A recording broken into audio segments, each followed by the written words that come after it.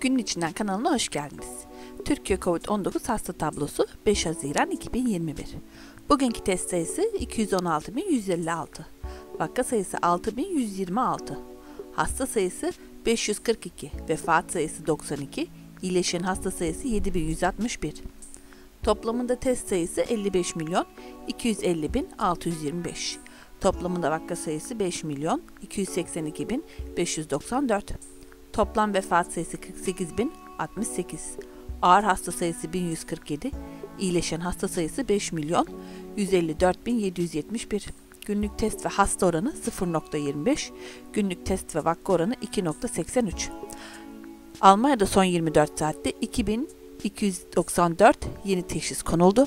Toplam sayı 3 milyon 697 bin 927 yükseldi. Bir günde ölenlerin sayısı 122 artarak 89.148'e çıktı.